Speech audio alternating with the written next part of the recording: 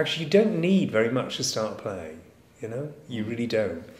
But you do need to build a kind of critical mass. So I, I carry a lot of notebooks around.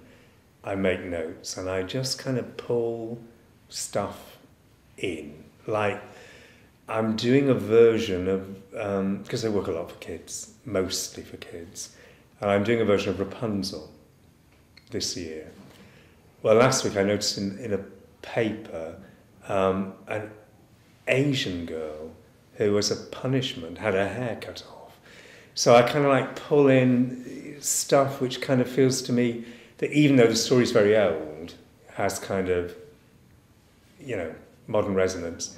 And then I just go for it. I get to critical mass, uh, which is probably quite close to the deadline, yeah. and I go for it.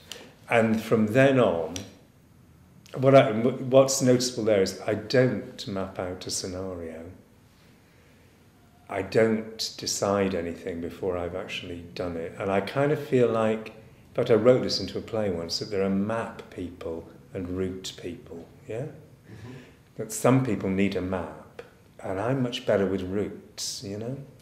That I will go so far, obsessively I return to the beginning. So I'm almost OCD about that. If, if I've got stuck, I'll go right back to the beginning and work very slowly through it because you can almost guarantee you will find the place where it went wrong, well, wrong, or where you got stuck yeah. much earlier than the point where you run out of energy, you know?